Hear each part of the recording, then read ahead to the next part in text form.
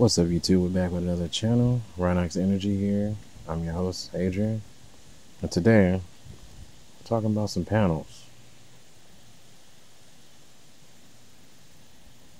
Let's get into the video.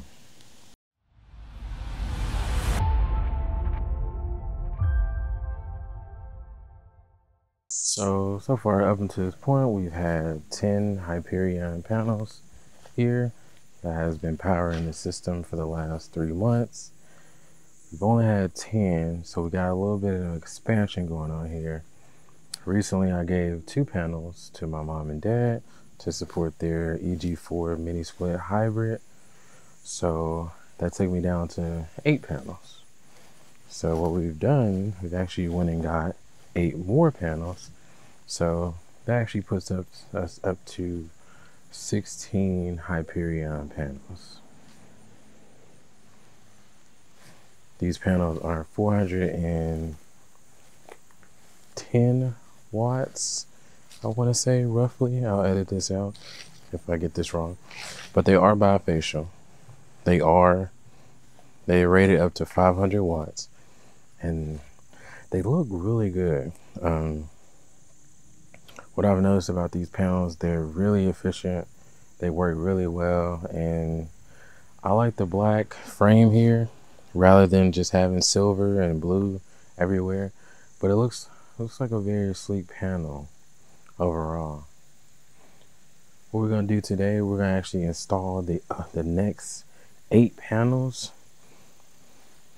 And as we after we do that, we're gonna run some tests on the Jeep, and hopefully, hopefully, it's about 11 o'clock here in uh, Tennessee. So hopefully after we get all of these installed, the Jeep is still charging. But hopefully the goal today is to see if these panels can power or recharge the Jeep by itself and allow the Jeep to run or charge only on solar and charge the batteries at the same time. I think we're really close. I think we're we don't have any clouds in the sky today, so that's a really good sign. So yeah, let's get into the install.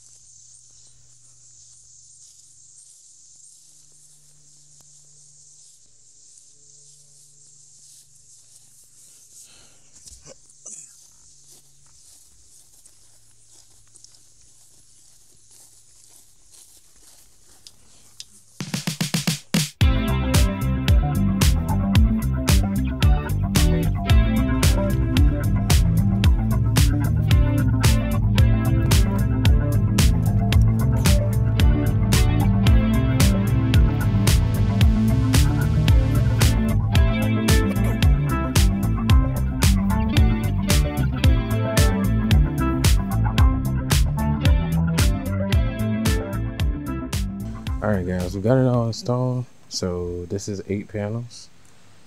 9 10 11 12 13 14 15 16 panels.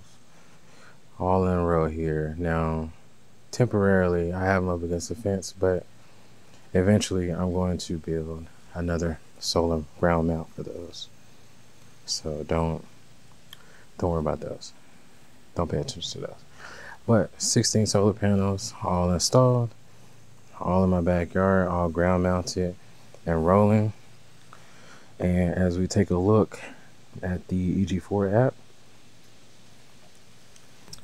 all right, as we take a look at the solar here, um, looking at the EG4 app, we are producing 4,485 watts. We'll give it a quick refresh here.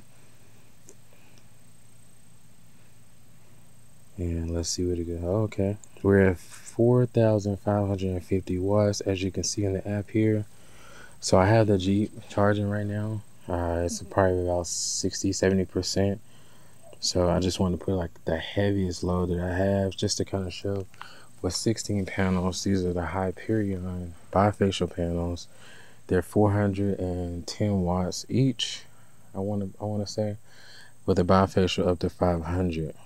So with this setup, we are now officially charging the Jeep just on solar no battery storage at all being used. We're actually sending 600 watts to the battery as of excess power that we're producing.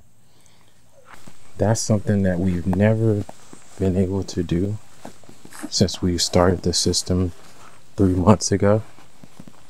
This is just kind of a testament to consistency and staying on it. I did have I did have kind of a mishap uh, when I did connect the panels. Um, so what happened was that we connected the panels and so I connected a second string. So I have these panels that you see here on the screen. I have these connected in PV2. So what I did was uh, I'm I didn't account for the amount of voltage that you had to have in order to get over that threshold to turn on the PV line, that string. So I, I have both strings connected in series. I have 10, I have 10 connected in PV1 in series and the other six connected in series on PV2. So, and that's how we we're putting both of those together and producing 4,550 watts. We'll give another quick refresh here, but this is phenomenal. Uh, this is exactly what I envisioned when I started out with this system. I can't tell you guys how excited and happy I am because now what this allows us to do and just, just to give a further breakdown, PV1 is producing 3,435 watts. PV2 is producing 1,115 watts right now. So that gives us a total of 4,573.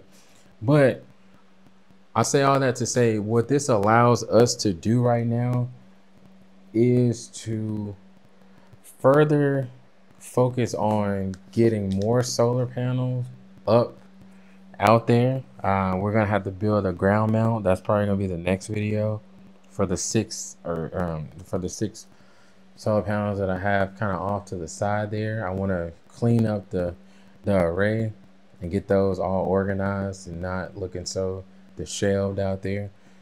That's that's definitely to be the next thing. But yeah, this is very exciting. Um, so by the end of the year, it is September now.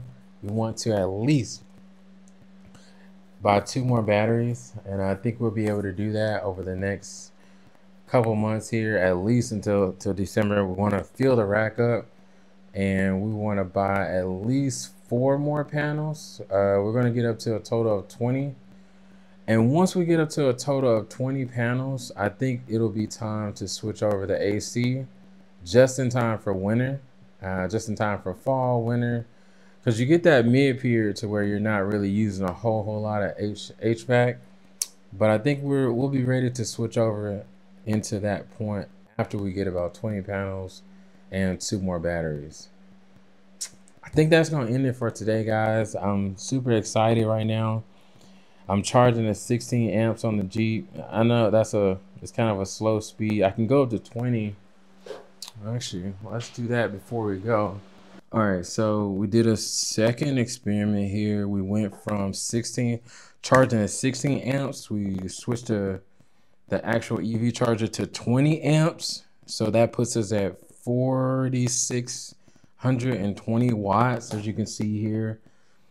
So judging by, we're about 357 watts behind.